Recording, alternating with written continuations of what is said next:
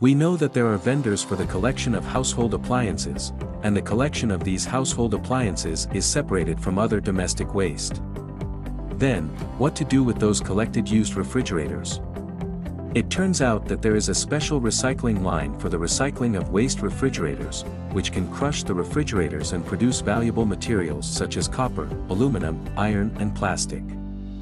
As long as these materials can be separated, they can be sold for money, ND the value is much higher than the price of an old refrigerator itself. Therefore, recycling waste refrigerators has great market prospects. Today we will briefly introduce the steps of refrigerator recycling. Step 1, Pre-shredding. Almost all the waste materials are required to be broken into small pieces before further processing. After removing the compressor and radiator, the entire refrigerator will first be broken down in a double shaft shredder and then air selected. This process can remove 70% of the foam.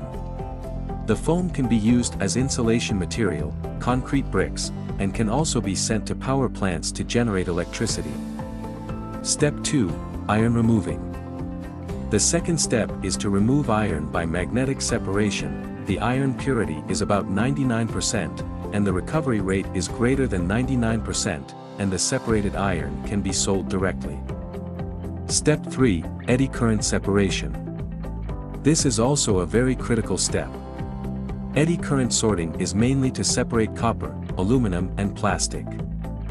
Step 4, Manual sorting. The copper and wires that cannot be completely sorted out by the equipment are manually selected.